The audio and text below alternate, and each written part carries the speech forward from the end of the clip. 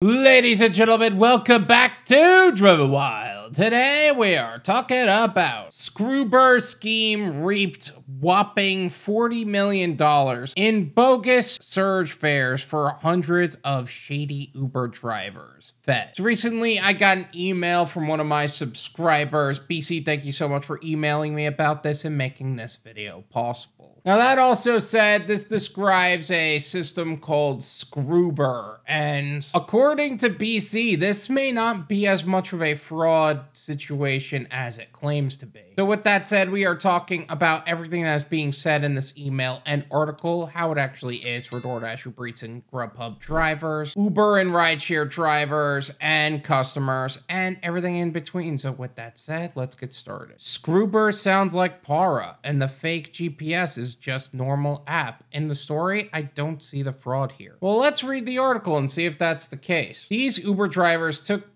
passengers for a $40 million ride. A pair of fraudsters sold hacked smartphones and fake apps, including one dubbed Screwber, to more than 800 Uber drivers as part of a scheme that conned customers into paying bogus surge pricing fares, federal prosecutors said Wednesday. Now, how exactly would they be paying surge pricing through Uber? Like, how exactly would that even work? Because usually Uber sets those prices. We don't. But but what is happening here? Ilya Paldeal, 52 of Queens, and Carlos Arturo Alvarez Palacios, 54, were arraigned Wednesday on federal wire fraud and money laundering charges in Brooklyn federal court. Okay, so that is nothing to do with Uber. That's money laundering and wire fraud. How would they use Uber to do that? The pair reaped more than 1.5 million for themselves out of the 40 million in ill-gotten fares from the shady drivers, and even bragged about the upcoming flow of cash at the scheme's outset in 2018, according to court documents. You know, Screwber is like drugs. Once you get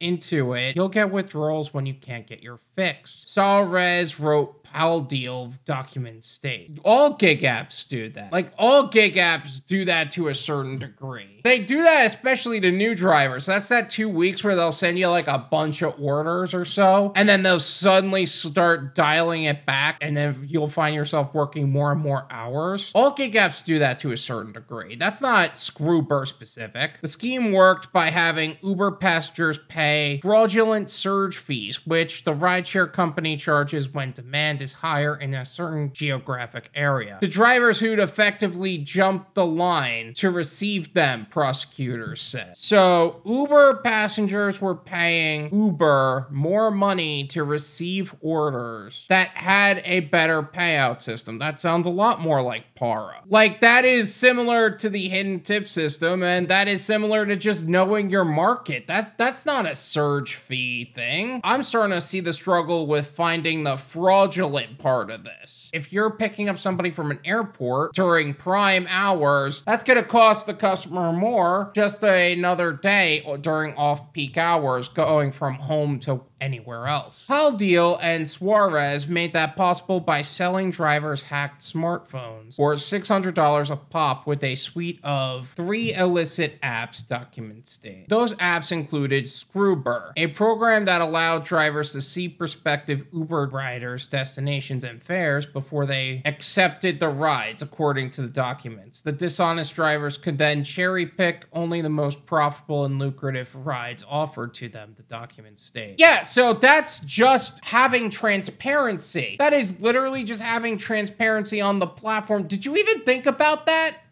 Do you know how to think? I love how the entire article is trying to make it sound like transparency is fraud. Like, transparency is not fraud. Lack of transparency is where the fraud is actually going to take place. What kind of dumbass logic is that? Another app called Fake GPS allowed drivers to fake or spoof their locations in Uber's legit application so they would appear as if they were in an area with surging fares. The documents contend. Okay, Okay, so maybe that's where I'd be like, now you're pushing it a little too far. You can't try to capitalize on a bonus that isn't actually there. That just makes no sense. Demand for the pair's criminal charges was high. At several points, the feds saw long lines of drivers of cars with taxi limousine commission plates waiting to meet with Paldeal according to the documents. So, what I heard was Uber had some real competition, being that this is an app that allows you to receive better paying options and work with better paying customers, and they didn't like that. I don't understand what the problem is here. The whole spoof their locations thing is pretty messed up, but the whole seeing where the most profitable and lucrative rides are available, that's just another day. When Paldeal sent a June 26 message to drivers offering help or phone pickup at his home. Investigators conducted surveillance, saw more than 20 vehicles, the documents charge. Sounds like you had a fleet and a good amount of drivers, if only they were doing this legitimately. A spokesperson for U.S. Attorney Breon Peace declined to comment on whether the 800 alleged cheating drivers who are considered co-conspirators soon will face criminal charges as well. As alleged, the defendants sought to enrich themselves by corrupting the rideshare market at the expense of unsuspecting passengers and hardworking drivers who played by the rules. He said in a statement. Yeah, they did this in a way where it was shady. And yeah, I don't like how Para handled themselves either. But at the end of the day, the only thing that they did that I see a major problem is is spoofing locations. Like, if they just had a platform that paid more fairly than Uber does, then I would say this is a quality service. And they shouldn't be convicted for competing with Uber. Paldeal and Suarez pled not guilty to the charges and were released on $210,000 bonds. The pair each face up to 20 years in prison if convicted. And yet there are still people stealing food and legitimately doing crimes that are just running around totally free to do whatever they want. But because hardworking people are actually earning a living the right way, they're the ones at fault. That's the only thing I see. The alleged fraud by 800 backed actors not only took money out of the pockets of hardworking drivers, it forced rideshare companies to further limit access to work for tens of thousands of TLC drivers, said Josh Gold, an Uber spokesperson. Of course, Uber would have a problem. Is that actually the motivation here? It's amazing how the same people who were fighting to get the laws that were imposed on them removed so that way they could have more freedom to do whatever they want to the drivers are now working with them on this. Pick a lane. Are you against how NYC works or are you not? David Do, the city's taxi and limousine commissioner, said the dastardly drivers stole from both passengers and their fellow drivers. We are working closely with the FBI to identify any TLC drivers who use the these illegal apps and ensure they never drive for hire in New York City again, and if feasible, recover any overcharges for those harmed, Do said in a statement. But the 800 bad actors were earning legitimately, technically. Like, sure, they tried to capitalize on an opportunity, but that's no different than any other entrepreneur there. This is my opinion.